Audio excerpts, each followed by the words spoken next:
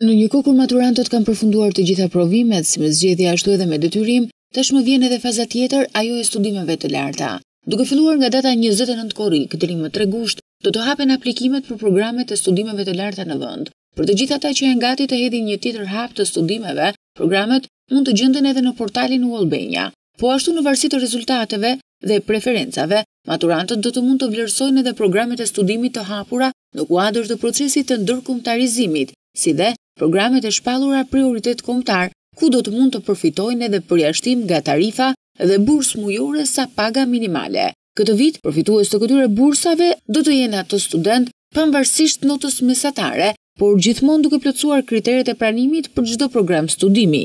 Sakaq për herë të parë këtë vit, Ofrohet edhe kredia studentore, e cila është një tjetër hap drejt ndjekjes së ëndrrës së shkollimit të lartë për çdo maturant. Kjo kredi do të mbulojë tarifën e studimit dhe kostot e jetesës, duke iu mundësuar studentëve që të përqendrohen vetëm në arritjet akademike dhe sfidat e reja që do të hasin në rrugën e studimeve. Sipas Ministrisë së Arsimit, kjo është një mundësi unike për të gjithë ata maturantë të cilët nuk kanë mundësi ekonomike për t'u shkolluar.